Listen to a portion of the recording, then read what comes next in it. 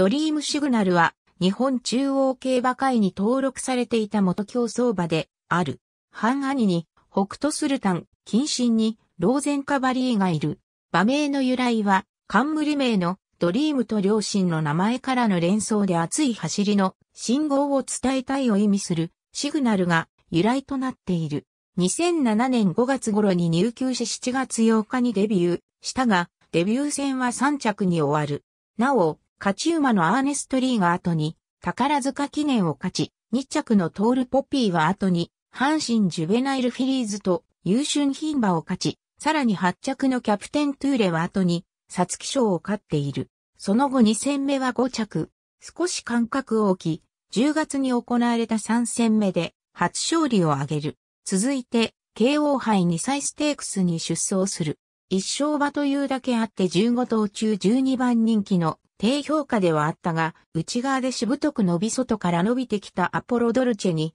かわされたものの2着に食い込み波乱を演出した。続く朝日杯フューチュリティステークスでも8番人気と、それほど評価は高くなかったがレースでは逃げ切った。ゴスホーク県をはじめ先行勢有利の前残りの展開ながら、後方から追い込んで4着と前線し、同時に前走で敗れたアポロドルチェに雪辱を果たした。2008年、年明け初戦は、新山記念、前走の成績や調教での動きが良かったことから一番人気に支持される。レースでは後方に待機し、スパートをかけると、ハイペースながら、直線でしぶとく粘るマヤの弁慶を、あっという間にかわすと、同じく後方から追い上げてきた、同じ馬種のドリームガードナーら後続を2馬身半、抑えて、重賞初制覇を果たす。続く、スプリングステークスからは、吉田隼人の騎乗で出走するが6着だった。続く、皐月賞は15着だった。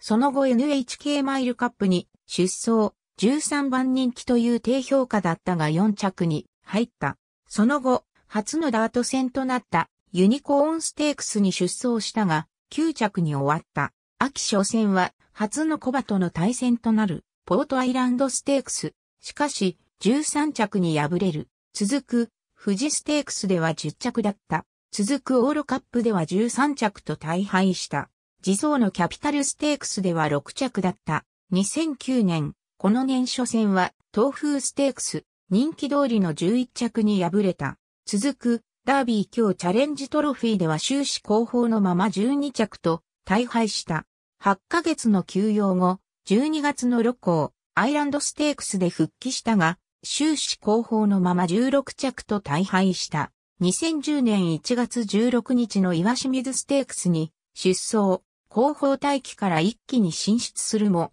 直線で失速して16着と、との負けに終わった。4ヶ月半の休養を挟んで6月5日の湘南ステークスに出走したが、見せ場なく人気通りの17着に敗れた。そして6月10日付で JRA 競走馬登録を抹消された。引退後は岐阜県羽島郡岐南町の笠松ライディングスクールにて乗馬となった。その後金沢乗馬クラブに移り、金沢競馬場での誘導馬としても活動している。セゾンカードの2008年の CM に出演している。馬は、ドリームパスポートとドリームシグナルの馬体のデータを参考にして作られた。これは、旧ジョイサラブレッドクラブの経営権をクレディセゾンが取得した縁によるものである。半兄に、目黒記念を制したホクトスルタン、おじに、若葉ステークス勝ちがあるダイイチダンヒルがいる。ありがとうございます。